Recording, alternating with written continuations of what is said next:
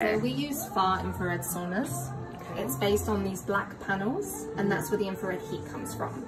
Now infrared heat from the panels is going to penetrate the body at least three millimeters into the muscle to draw out any toxins or heavy metals in the body.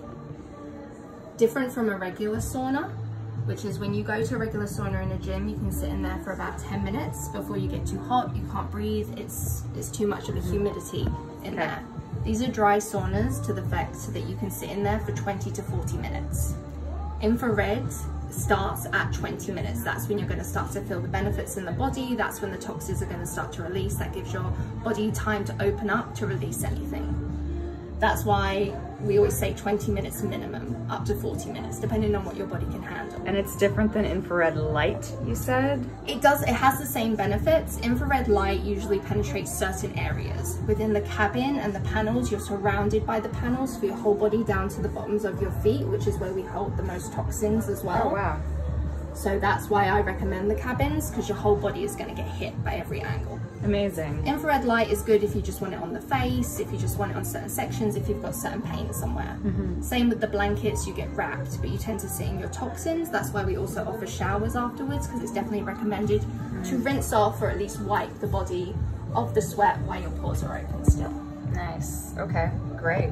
Yeah, you also want to put maybe a cold compress on your body afterwards because you want to close those pores so you're not stepping back outside in LA air while your pores are open and sucking all those toxins back in. So infrared heat, the benefits as well, there's a multitude of them. We have professional athletes that come in um, because when we work out throughout the day, just walking down the street, our muscles naturally tear.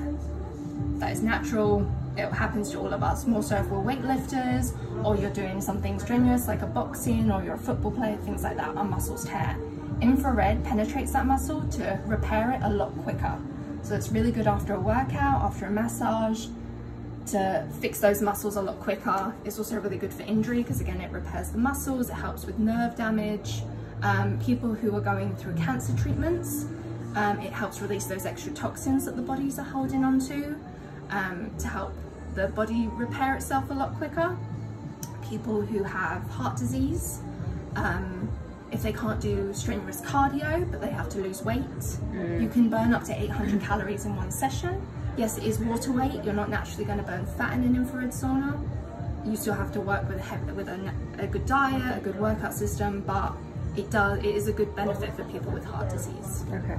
Um, smokers, especially if you're trying to quit smoking, um, a lot of people do hold on to a lot more toxins. Um, so sometimes you see little black dots on your towels. It's not alarming, it is just your body releasing those toxins that should not be in there. Um, else? We also offer chakra lighting up in the ceiling, which is really good for meditations. Each chakra depends. Um, again, crown chakra, if you want a little bit more calming, I go for the blue light. There is also Bluetooth available if you want to listen to music or meditate. That's amazing. Awesome. Thank you so much. You're welcome.